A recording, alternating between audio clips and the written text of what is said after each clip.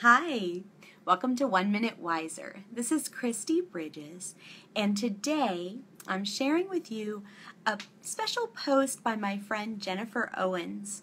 So, after this video, watch Jennifer's video as she talks about Proverbs 17 17.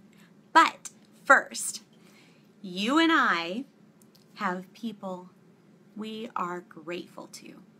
This week's blog talked about how much happier people are when they express gratitude, not just think it, not just think about their problems, but express gratitude. It changes your whole attitude.